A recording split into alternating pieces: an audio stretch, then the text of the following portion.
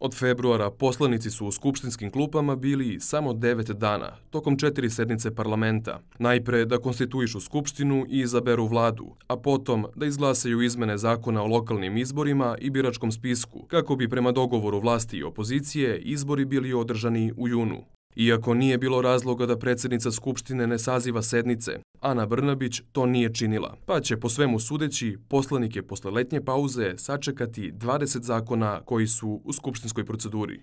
Dakle, naša Skupština očigledno funkcioniše u tom kriznom režimu i fokusira se samo na određene stvari za koje ima političke volje da se o njima raspravlja i to svakako da jeste ogroman problem.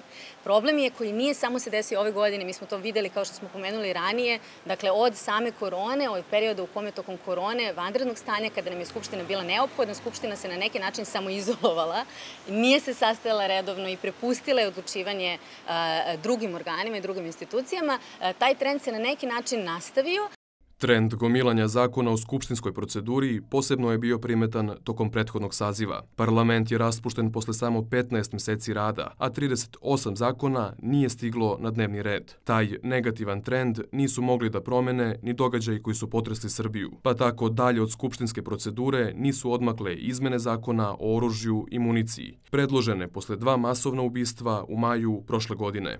Da se ponovo isto dešava omogućava to što poslovnikom o radu Skupštine već 15 godina nije propisan rok u kojem zakoni treba da se nađu na dnevnom redu, a to otvara prostor za zloupotrebe. Ono što, čega se ja bojim i kako izgleda trenutna stvar je da e, će se posle ovoliko velikog perioda u kome nismo imali redovne ni vanredne sednice zasedanja Narodne skupštine, dakle onda će se ponovo e, pokrenuti mehanizam da se u jako kratkom vremenskom roku e, pokrenu sednice, da se na tim dnevnim redovima nađe jako puno zakona i da suštinski nema prostora i nema vremena da se o tim predlozima govori, da se obrazlaže zašto su oni tu. Opet ćemo ući u taj problem koji je kod nas već jako dugo problem, a to je da se zakoni ne razmatraju na vreme, da odbori budu aktivni, onda prođu veliki vremenski periodi i suštinski zbog toga dobijamo e, zakone koji su jako loše kvaliteta.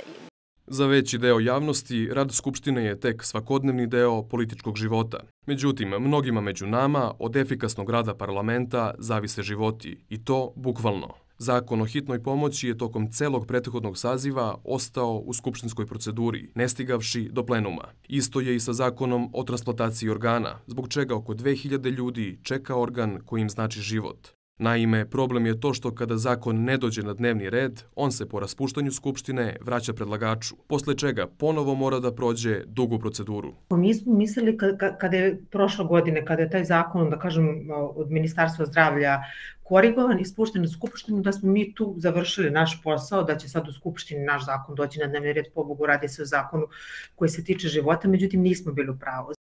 Zakoni koji dugo čekaju u skupštinskoj proceduri, posle čega zbog čestih izbora nikad ne stignu na dnevni red, nisu jedini problem srpskog parlamenta. Iako je jedna od osnovnih uloga Skupštine da kontroliše rad vlade, od početka prolećnog zasedanja nije bilo ni jedne sednice na kojoj su poslanici postavljali pitanja članovima vlade.